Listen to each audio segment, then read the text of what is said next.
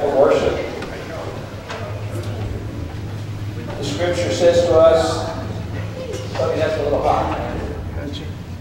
Psalm 119, beginning in verse 96. To all perfection I see a limit, but your commands are boundless.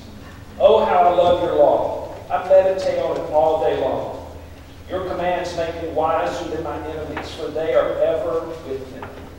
I have more insight than all my teachers, for I meditate on your statutes.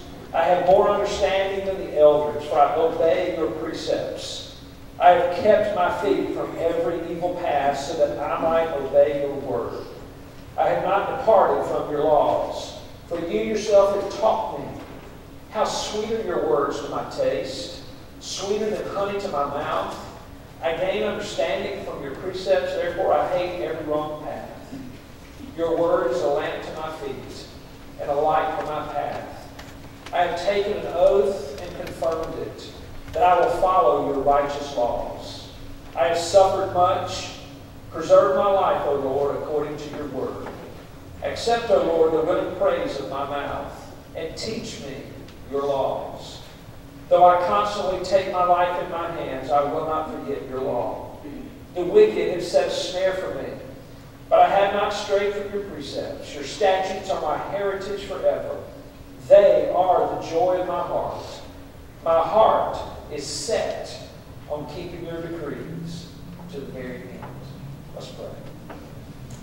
Our Heavenly Father, we thank you for the fact that we can gather today in your presence, in this room that is already filled with the presence and power of your Holy Spirit, with your people the body of Christ, and around your word, ready to hear from you. Father, with songs on our lips, we are prepared to praise you and to sing to you about your faithfulness and your goodness because we love you.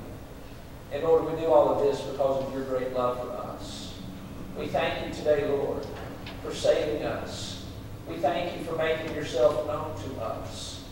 We thank you for making yourself available to us, that we can come to you and even speak with you, God of all creation, our Savior, the lover of our souls. Lord, we praise you today, and this is our offering of worship, and I pray it will be pleasing to you. In Jesus' name we pray. Amen.